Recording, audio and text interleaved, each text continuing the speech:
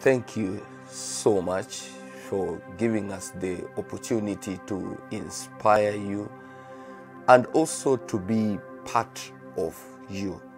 My name is Pastor Wilfred Wasike, and I want to appreciate African Pride Images for the opportunity to share the Word of God. So, we are going to read the Bible in the book of Proverbs, chapter 22, verse number 6, whereby the Bible says that train up a child in the way he should go, and when he is old, he will not depart from it. So, the writer of the Bible is teaching us parents to be trainers of our children.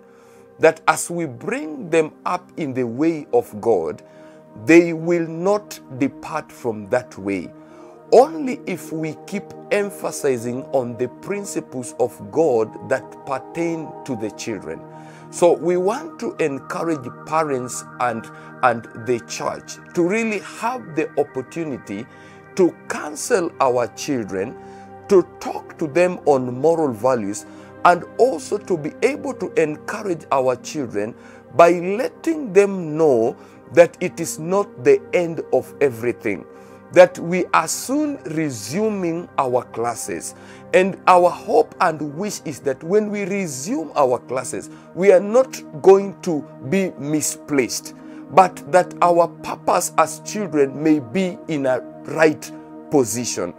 Even as the parents, we should not just blame the church, we should cooperate with the church we must unite with the church to ensure that we train our children there at home. It is the opportunity of the parents, even to encourage the children to study at home and not just to neglect them and give them opportunity to move around in the estates doing nasty things. Some become criminals, some become busybody. That is not the will of God. So, because these children are ours, let us hold hands together and empower them with knowledge. Let us be and encourage them and an, an encouragement to them so that they may see us as people who also value their education. Let us not encourage our children to neglect education, but let us encourage them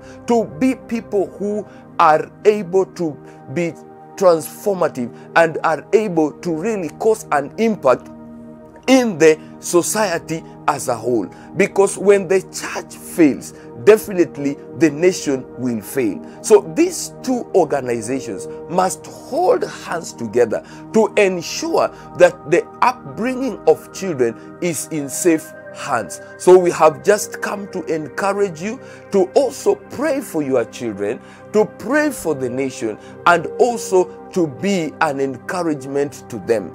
Be the inspiration because these children are ours. They are in our community. We cannot sideline them. We, we need to really encourage them and to make them understand that we value them and they are the future leaders. So I want to encourage children around the world that be encouraged and please keep morals so that you might be able to be somebody in the society because the society is looking at you as somebody who is willing to take others into another level. But unless you change your, your, your, unless you change your behavior and be somebody who can be an inspiration, then it will be a problem. So, children, wherever you are, please be patient, continue studying at home continue obeying your parents and be a good example even to the younger children as you are. So may God bless you and we wish you well and we believe strongly that when we resume our classes, we will not resume our classes as mothers. We are going to resume our classes as students who are willing to study and to build up their future in God. God bless you, children, and we wish you well in Jesus' holy name.